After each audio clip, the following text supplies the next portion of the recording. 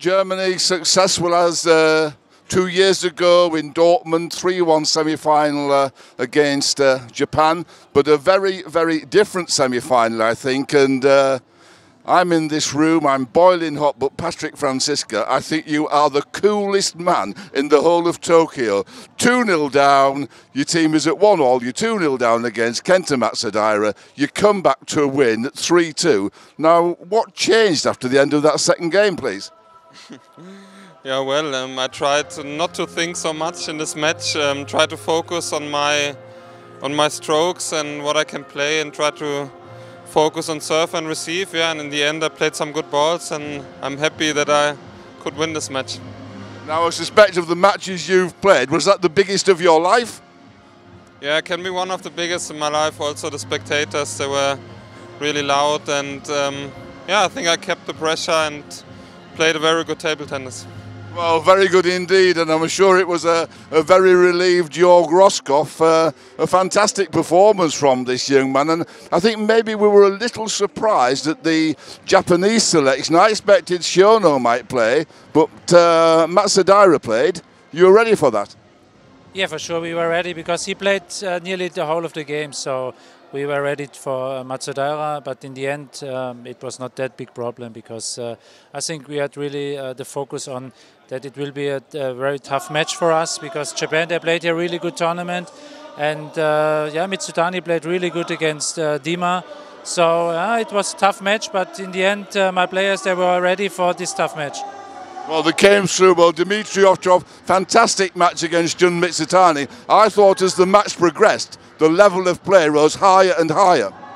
Yeah, for sure, it was a very high level, but uh, okay, in the end, uh, Mizutani against uh, Timo, this is quite a different game. This is lefty against lefty, so this was a quite easy victory. But uh, yeah, for us, it was really important to get this match at 1-1. Timo Boll, you start matters, you beat Koki Niwa. Very difficult match, tough first game, then you come through. But I rather felt when you played against Jun Mizutani, this young man, Patrick, had given you all the boost. He'd, uh, he'd knocked the heart out of Japan, and uh, your level went up in that second match. How do you feel? Yeah, I think the third match of Patrick was very uh, important for us uh, to have a lead because Japan they were really up and the spectators they were hot and uh, especially after the game from Dimitri against Jun, which was on a very high level great rallies, and uh, so this was really important to to have that lead and uh, yeah, a lot of respect of on him because it was his maybe one of his first big matches in, in his career, and he played it fantastic.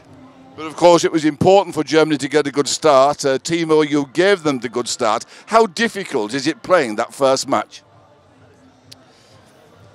If you have 15 years of professional table tennis after afterwards you, then it's not that difficult. But uh, of course, I was very concentrated, and I played him in the near past a few times in the German league, and there it was also difficult.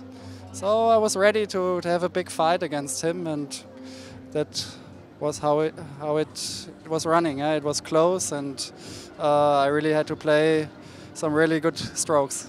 Well, you played extremely well. Timo Boll, the backbone of the success. Jorg Rosskopf, the mastermind. And Patrick Franziska, the hero. It's Germany 3, Japan 1. Thank you very much indeed, guys. That's a good end. Okay.